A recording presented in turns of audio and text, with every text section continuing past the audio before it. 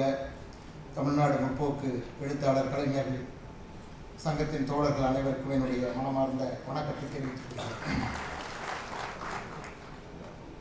தோழர்களே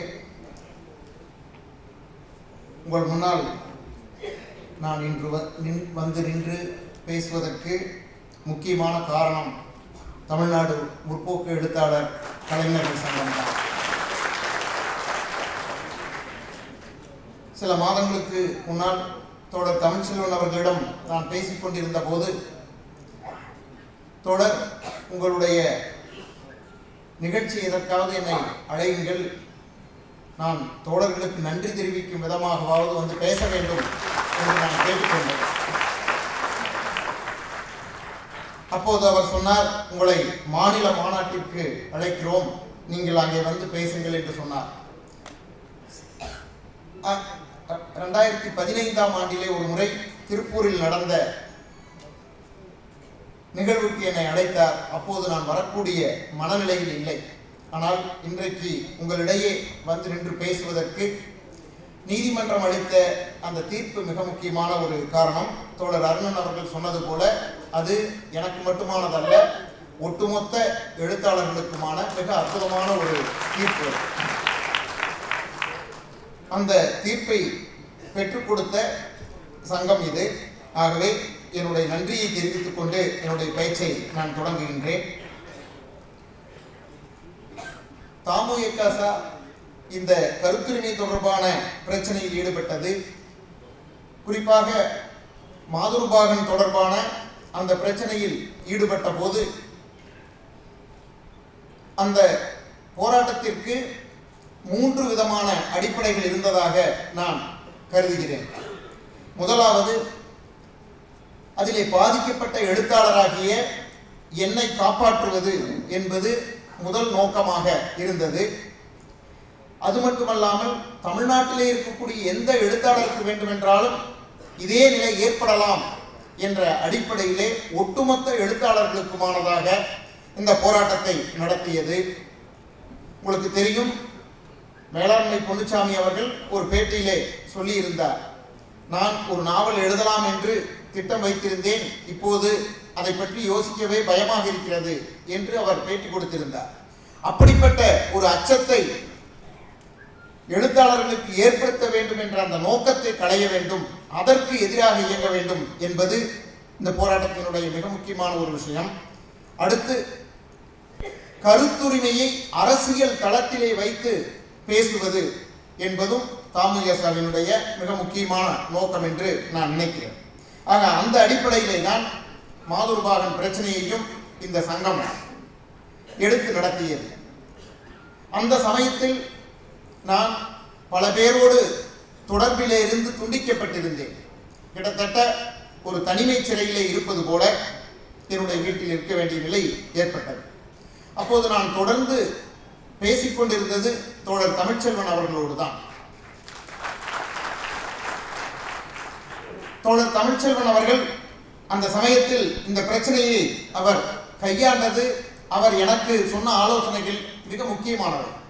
ஏனென்றால் நான் ஒரு காலத்தில் மார்க்சிய அமைப்பு ஒன்றிலே மாணவ பருவத்திலே தீவிரமாக செயல்பட்டவன். அதனுடைய இலக்கிய பத்திரிகையிலும் எழுத்தாளர் அமைப்பிலும் தீவிரமாக இயங்கியவன். ஆனால் பின்னால் அதிலே இருந்து அரசியல் அதனுடைய அரசியல் நிலைப்பாடு மாறிய காரணத்தினாலும் கலை இலக்கிய செயல்பாடுகள் குறைந்து போய்விட்ட காரணத்தினாலும் நான் அதிலே இருந்து விலகி வந்தவன். ஆக நான் இந்த பிரச்சனை ஏற்பட்ட போது எந்த அமைப்பு பின்புலமும் இல்லாத ஒரு நிலையில்தான் நான் இருந்தேன். அப்போது அதை நான் தீவிரமாக நான் உணர்ந்தேன். இன்றைய சூழலில் ஒரு மனிதன் வாழ்வதற்கு நிச்சயமாக அவன் நம்பக்கூடிய ஒரு அரசியல் பின்புலம் ஒரு அமைப்பு பின்புலம் இருந்தாக வேண்டும் என்பதை நான் உணர்ந்தேன் நான் செயல்பட்ட அமைப்பு அது இப்போது மிகச் சிறியதாக இருந்தாலும் கூட அந்த அமைப்பு எனக்கு பின்புலமாக வருமா என்ற சந்தேகம் கூட எனக்கு ஏற்பட்டது. ஏனென்றால் பொதுவாக நான் மார்க்சியர்களுக்கும் மதவாதிகளுக்கும் ஒரு வித்தியாசத்தை அடிப்படையிலே பார்ப்பது அது ஒரு வகையில் நான் மதவாதிகளை புகழ்வது போல கூட உங்களுக்கு தோன்றலாம். மதவாத அமைப்புகளிலே செயல்பட்டு அதிலே இருந்து வெளியேறியவர்கள் ஏதாவது ஒரு காரணத்தின் அடிப்படையில் வெளியேறியவர்கள் அல்லது பொது வாழ்க்கைக்கு வந்தவர்கள் அந்த அமைப்பிலே முழு நேரமாக இருந்துவிட்டு வெளியே வந்தவர்கள் அவர்களை எல்லாம் அந்த அமைப்பை சேர்ந்தவர்கள் எப்படி நடத்துகிறார்கள் என்று பார்த்தால் அவர்கள் மீது குறைந்தபட்ச நம்பிக்கையை அந்த மதவாதிகள் இழப்பதில்லை. அவர்கள் எங்கே இருந்தாலும் தங்களுடைய சிந்தனை அவர்களுக்குள் எங்காவது ஒட்டி கொண்டிருக்கும் ஆகவே அவர்கள் நமக்கு ஆதரவான செயல்பாடுகளிலே இருப்பார்கள் என்று அவர்கள் நம்புகிறார்கள். ஆனால் பல மார்க்சிய அமைப்புகள் அப்படி அல்ல. நம்மிடமிருந்து ஏதோ ஒரு காரணத்தினால் ஒரு சின்ன பிரச்சனையினால் வேறுபட்டு கருத்து வேறுபட்டு பிரிந்து போய்விட்டால் கூட அவர்கள் நம்முடைய எதிரிகள் என்று பார்க்கக்கூடிய ஒரு பார்வை இருக்கிறது. அதனால்தான் நாம் ஒரு அமைப்பிலே செயல்பட்டு இருந்தாலும் கூட நமக்கு பின்புலமாக யார் வருவார்கள் என்ற அச்சமும் பயமும் எனக்கு ஏற்பட்டது. அந்த சமயத்திலே தமிழ்ச்செல்வன் அவர்கள் நாங்கள் இருக்கிறோம் என்று எனக்கு பெரிய தைரியத்தை கொடுத்தார். அவர் என்னுடைய வீட்டிற்கு வந்து நேரிலே பார்த்தபோது நான் அவருக்கு ஆறுதல் சொல்ல வேண்டிய நிலை வந்தது. கண் கலங்கி நீங்கள் கொடுத்திருக்கக்கூடிய அந்த அறிவிப்பு பார்த்தவுடன் எனக்கு பெரும் அழுகை வந்துவிட்டது என்று அவர் குறிப்பிட்டார். நான் உண்மையில் அது அப்போதைய என்னுடைய மனநிலையை வெளிப்படுத்தக்கூடிய ஒரு வாசகமாக என்னும் எனக்குள்ளிருந்து தோன்றியதுதான். அந்த கணத்தை கடந்த பின்னால் அதனுடைய அந்த வாசகத்தினுடைய அந்த பெருமதிப்பை நான் பெரிதாக உணரவில்லை. பல பேர் அதை சொல்லும் போதுதான் ஓ இப்படி ஒரு வாசகம் என்னுடைய எனக்குள்ளே இருந்து வந்திருக்கிறது போல இருக்கிறது என்று தோன்றியது. தமிழ்ச்செல்வன் அவர்கள் ஒவ்வொரு கட்டத்திலும் என்னை அணுகிய விதம் எனக்கு கொடுத்த ஆலோசனைகள் அதை நான் பின்னால் யோசித்து பார்த்தபோது ஒரு எழுத்தாளனுடைய மனநிலையை இன்னொரு எழுத்தாளன் இவ்வளவு அருமையாக புரிந்து கொண்டிருக்கிறாரே என்று தோன்றியது. மாவட்ட ஆட்சியர் அலுவலகத்தில் நடந்த பேச்சுவார்த்தையின் போது பேச்சுவார்த்தைக்கு முதல் நாள் அழைப்பு வந்தபோது நான் தமிழ்ச்செல்வன் அவர்களை அழைத்தேன். என் உடன் வாருங்கள் என்று அவரை அழைத்தேன். அப்போது அவர் கோவில்பட்டியிலே இருந்தார் நான் சென்னையிலே இருந்தேன். அவர் எனக்கு உடல்நிலை சரியில்லை இல்லை என்றால் நான் புறப்பட்டு வந்து விடுவேன் என்று சொல்லிவிட்டு நீங்கள் நான் எப்படி அந்த பேச்சுவார்த்தையில் நடந்து கொள்ள வேண்டும்? என்றும் கூட எனக்கு ஆலோசனை சொன்னார். பேச்சுவார்த்தைக்கு பின்னால் அவருடைய ஆலோசனைப்படி நான் நடக்கவில்லை என்று வருந்துவாரோ என்று நான் நினைத்தேன். அப்போது எனக்கு சொன்னார் தோழர் நீங்கள் என்ன முடிவெடுத்தாலும் சரி நான் உங்கள் பக்கம் நிற்போம் என்று சொன்னார். அதே போல வழக்கு நீதிமன்றத்திற்கு சென்ற போதும் அப்போதும் சொன்னார் நீதிபதி என்னை மீண்டும் மீண்டும் எழுத்தாளருடைய வாக்குமூலம் வேண்டும் என்று திரும்ப திரும்ப சொல்லிக்கொண்டே இருந்தார். எனக்கு நீதிமன்றத்திலே இருந்து உங்களுடைய தரப்பை சொல்லுங்கள் என்று சொல்லி அங்கே இருந்து கேட்டு அறிக்கையில் வந்து கொண்டிருந்தன. அப்போதும் தமிழ்ச்செல்வன் அவர்கள் சொன்னார் உங்கள் தரப்பை உங்களுக்கு சொல் சொல்லலாம் என்று தோன்றினால் அதனால் உங்களுக்கு ஏதும் பிரச்சனை வராது என்று நீங்கள் கருதினால் சொல்லுங்கள். நீங்கள் சொன்னால் இந்த வழக்கு இன்னும் வலுவாகும் என்று நான் நினைக்கிறேன். ஆனால் அதனால் உங்களுக்கு பிரச்சனை வரும் என்று நீங்கள் கருதினால் உங்கள் விருப்பப்படி முடிவெடுத்துக் கொள்ளுங்கள் என்று சொன்னார். அப்படிப்பட்ட ஒரு சுதந்திரத்தை கொடுத்த அந்த அணுகுமுறை அது எனக்கு பெரிய மகிழ்ச்சி தரக்கூடியதாக இருந்தது. பலரும் அந்த சந்தர்ப்பத்திலே நான் சொன்னதை அவர் கேட்கவில்லை நீ சொன்னதை அவர் கேட்கவில்லை என்று என் மீது மீண்டும் மீண்டும் திரும்ப திரும்ப பலவிதமான குற்றச்சாட்டுகளை சொல்லிக் கொண்டிருந்தார். ஒரு முடிவை எடுக்கக்கூடிய சூழலில் இருப்பவர்கள் அவர்கள் அவர்களுடைய சூழல் அவர் அதை ஒட்டி முடிவெடுப்பார்கள். வெளியிலே இருக்கக்கூடியவர்கள் பலவிதமான ஆலோசனைகளை சொல்ல முடியும். அதை உணர்ந்து தோழர் அவர்கள் நீங்கள் என்ன முடிவெடுத்தால் உங்கள் உங்கள் பின்னால் நிற்போம் என்று அவர் சொன்னது எனக்கு பெரிய வலுவை கொடுத்தது. அது இன்றைக்கு இந்த மேடை வரைக்கும் கொண்டு வந்து நிறுத்தியிருக்கிறது. ஆகவே தமிழ்ச்செல்வன் அவர்களுக்கும் தமிழ்நாடு முற்போக்கு எழுத்தாளர் கலைஞர்கள் சங்கத்திற்கும் என்னுடைய மனமார்ந்த நன்றிகளை மீண்டும் தெரிவித்துக் கொள்கிறேன். இன்றைக்கு இது கருத்துரிமை கருத்தரங்கு.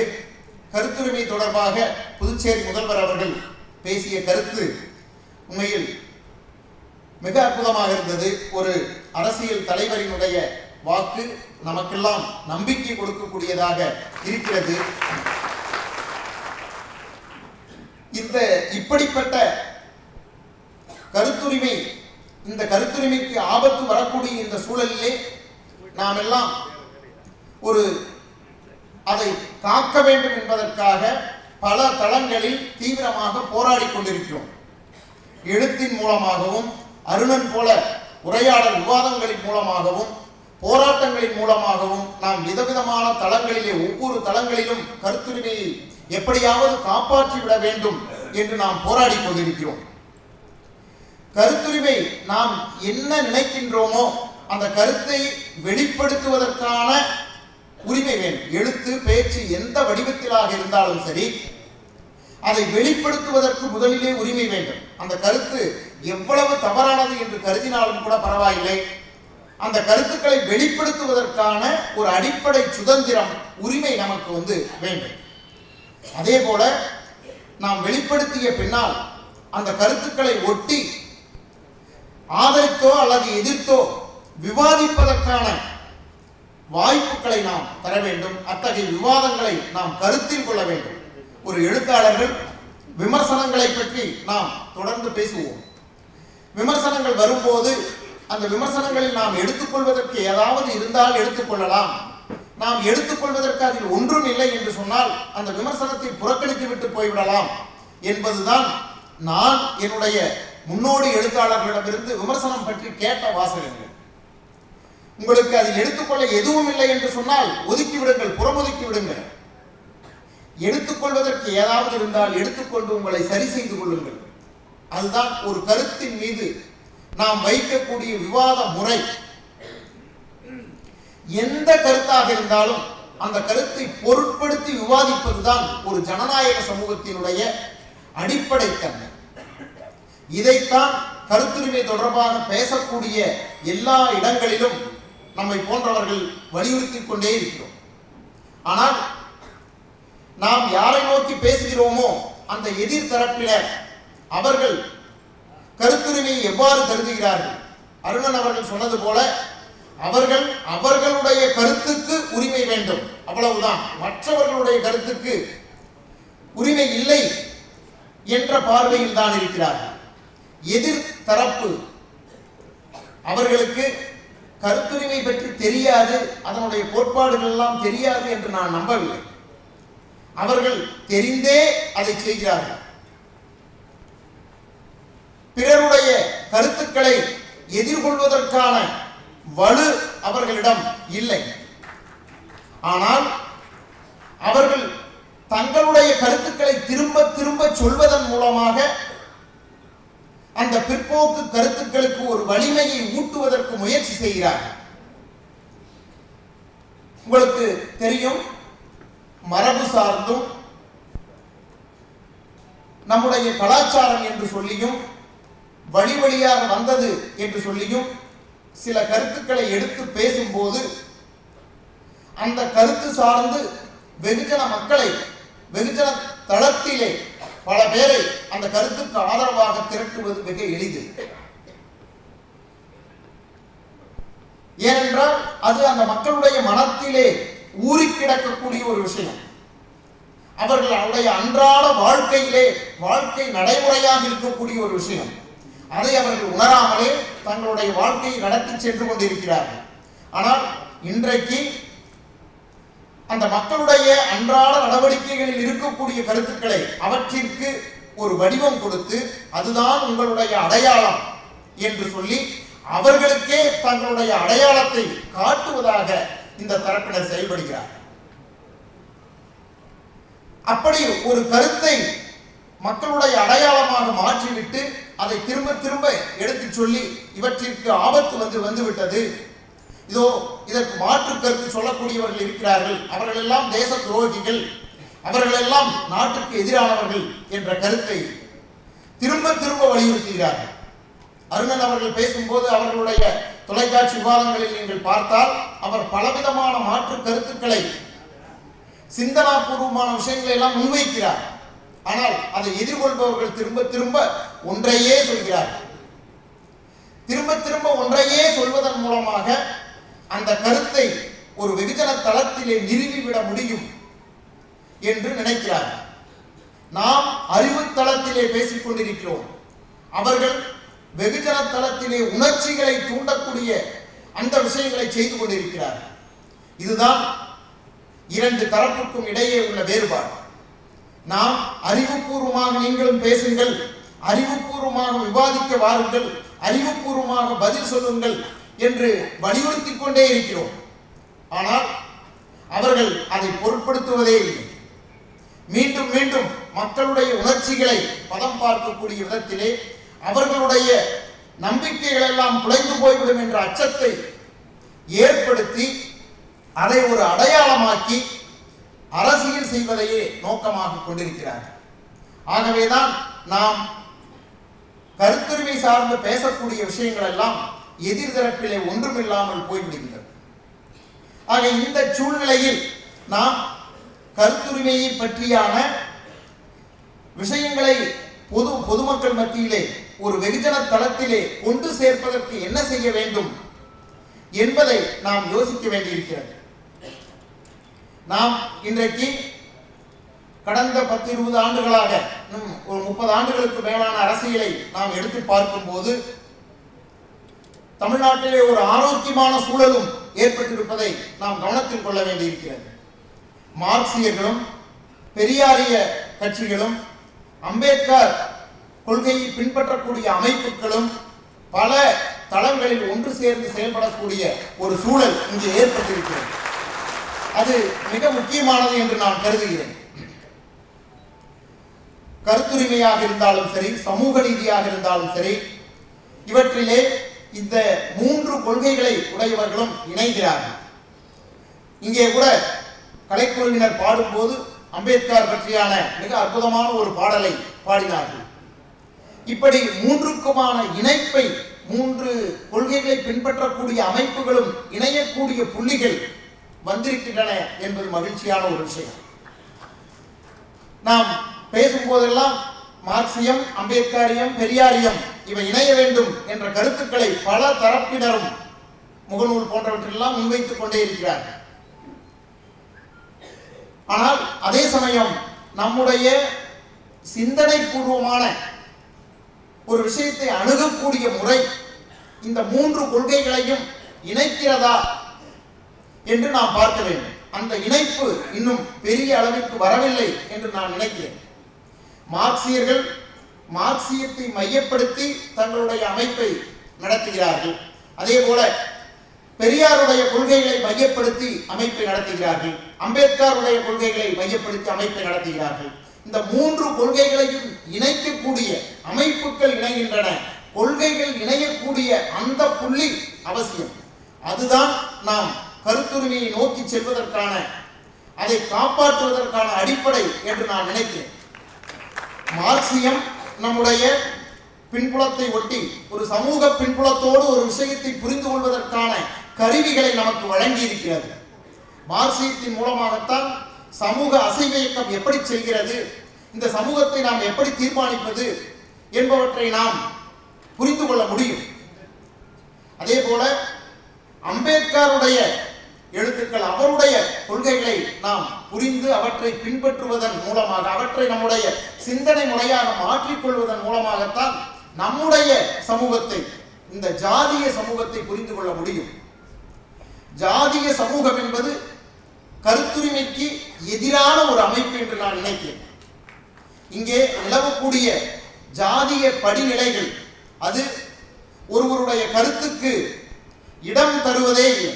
யார் ஆதிக்க சாதியை சேர்ந்தவர்களாக இருக்கிறார்களோ அவர்களுடைய கருத்துக்கு முன்னிலை கிடைக்கிறது. அவர்களுடைய கருத்துக்கு இடம் கிடைக்கிறது. யார் ஒடுக்கப்பட்ட சாதியினராக இருக்கிறார்களோ அவர்களுடைய கருத்துக்கு ஒரு குறைந்தபட்ச முக்கியத்துவம் கூட இல்லை. அவர்களுடைய கருத்துக்கு செவி கொடுக்கக்கூடியவர்கள் ஆள் இல்லை. அது நம்முடைய சமூக அமைப்பிலேயே ஜாதிய அடுக்கு நிலையிலேயே இருக்கிறது. ஆக அதை நாம் புரிந்து கொள்வதற்கு அம்பேத்கருடைய எழுத்துக்கள் மிகவும் பயன்படும். அதே போல இந்த இரண்டின் மட்டுமல்ல பெரியார் நமக்கு இன்றைக்கு மிகவும் தேவைப்படுகிறார். அருணன் அவர்கள் பேசும்போது அவருடைய உண்டியல் தொடர்பாக அவர் சொன்ன விஷயங்கள் போன்றவற்றை எல்லாம் கேட்டபோது எனக்கு பெரியாருடைய பேச்சை கேட்பது போல இருந்தது. சமீபத்தில் நடந்த ஒரு படுகொலை சிவகங்கை பகுதியில் நடந்த ஜாதிய படுகொலை கால் மேல் கால் போட்டுக்கொண்டு டீக்கடையிலே உட்கார்ந்திருந்தார்கள் என்பதற்காக நடந்த அந்த படுகொலை அந்த படுகொலை சம்பந்தமாக அந்த செய்திகளை பார்த்து கொண்டிருந்த போது எனக்கு அப்போது பெரியாருடைய ஒரு சம்பவம் தான் எனக்கு நினைவு வந்தது. இதே போல ஒரு மேடையிலே பெரியார் பேசிக் கொண்டிருக்கும் போது எதிரில் முதல் வரிசையில் இருந்த ஒருவர் தன்னுடைய கால் மேல் கால் போட்டு உட்கார்ந்து கொண்டிருந்தாராம். ஒரு தோழர் பெரியாரிடம் வந்து பாருங்கள் உங்களுக்கு முன்னாலேயே அவன் கால் மேல் கால் போட்டுக் கொண்டு உட்கார்ந்திருக்கிறான். என்று சொன்னாராம். உடனே பெரியார் அவனுடைய கால் மேல் அவனுடைய காலை போட்டுக் கொண்டால் தப்பில்லை. அவன் காலை எடுத்து என் கால் மேல் போட்டால் தான் தவறு என்று சொன்னார். எனக்கு அதுதான் பெரியாருடைய அந்த உடனடியாக ஒன்றுக்கு கொடுக்கக்கூடிய எதிர்வினை அவருடைய அவருடைய கருத்து ஒரு வெகுஜன மக்களை உடனடியாக எட்டக்கூடிய இயல்புடைய இப்போ இப்போ சமீபத்திலே ஒரு பகுதி அவருடைய பேச்சிலே இருந்து படித்தேன். கோவிலிலே போய் ஒரு திருமணத்திற்கு பூவாக்கு போட்டு கேட்கிறார்கள். குலுக்கி போட்டு சீட்டு எடுக்கிறது. அதை பத்தி அவர் சொல்றாரு. சாமி வந்து சரியா சொல்லும் அப்படின்னு சொன்னா ஒரு அண்ணனுக்கும் தங்கைக்கு கல்யாணம் பண்றதுக்காக சீட்டு போட்டா கூட தான் ஒரு சீட்டு வரும். அப்படின்னு பெரியார் சொல்றார். பெரியாருடைய இத்தகைய கருத்துக்கள் அவர் பார்த்தீங்கன்னா ஒரு அதுல அந்த அவர் சொல்லக்கூடிய கருத்துக்களுக்குள்ள ஆழ்ந்த சிந்தனை இருக்கும்.